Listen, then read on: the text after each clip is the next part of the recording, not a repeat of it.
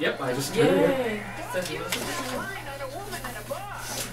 So start off with just the Harry Chapin dry, talk about Yeah. that first, and then so that then you can subtly pull in the, the Paula Poundstone stuff by saying, you know, and if you need further incentive, consider the Here's tickets. here's your handoff. Headsets on. So we're imagining a world where we have to rely on corporate funders. Season four of Mozart in the Jungle. And announcing that Smiles, everybody. Seriously, Amazon owns you now. yes, you, but good news. If you're a Prime member, you get to use yourself for 30 minutes a day. and your local farmer's market, bringing you mushy apples for three times what you'd pay at the grocery store. The farmer's market, just like Whole Foods, except our employees aren't required to wash their hands.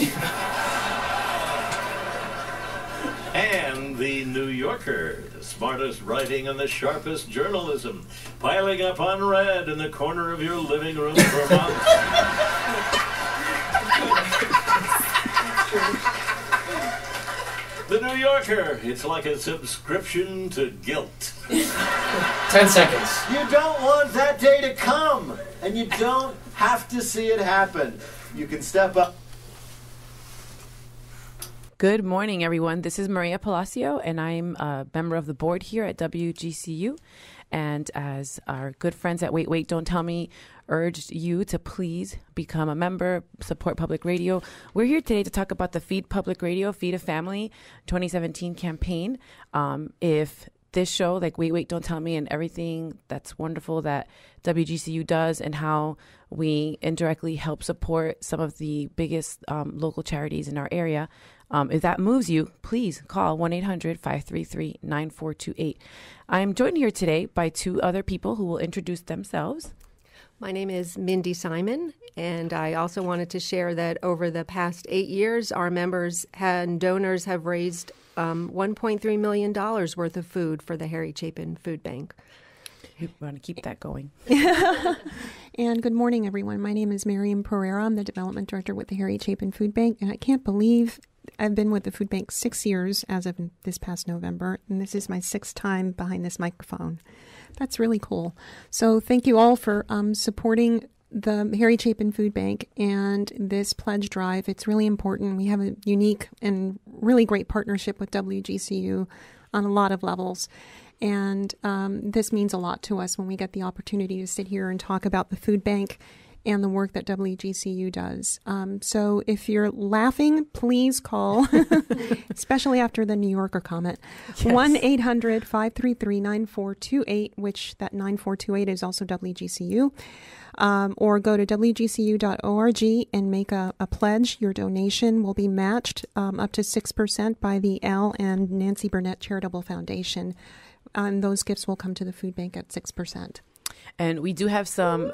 Thank you. Yes, we have. Uh, well, as a further incentive, if you like Wait, Wait, Don't Tell Me and love Paula Poundstone, you've probably seen the ads for her show on March 2nd. She's coming here to the Barbara B. Mann um, performance venue. And so for $130 today, for a, a pledge of $130, you get two tickets to see Paula Poundstone at Barbara B. Mann And those are being donated by, by that partner. So we're very, very thankful, uh, grateful to them for that. So, I mean, we were just laughing raucously. We're sounding really quiet right now, but we were laughing really hard before the break. So help us out here. We could start cracking up. I mean, we can try.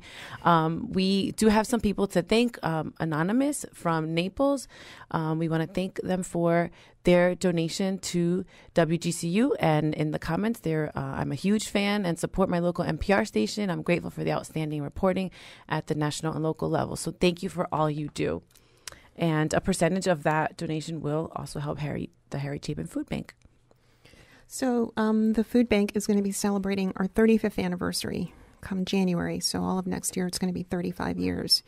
And it has grown in the six years I've been there. It's it's grown f- in, in unbelievably, which is a good thing, and not such a good thing. Also, um, considering um, why we do what we do there, um, it's trying to feed families who can't afford to put food on the table.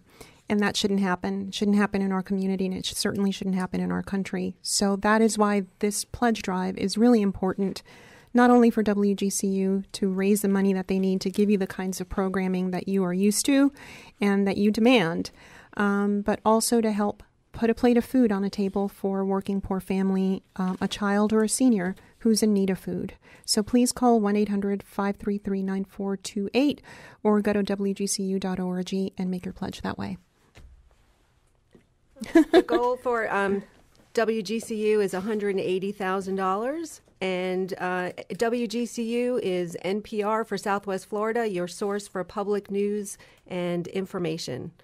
I mean, and if you think about Harry Chapin Food Bank, how many times when you go to Publix, when we go to different places, we think about, okay, well, how much is what we're what we donate? How much is that helping? Well, it's helping a lot. With a dollar, Harry Chapin Food Bank can make eight dollars worth of food. So please go to wgcu.org and make your pledge today. Support is provided by the Sanibel Captiva Trust Company. All right, good job. Go ahead and click on that other 11 o'clock bit. Oh, I thought I did.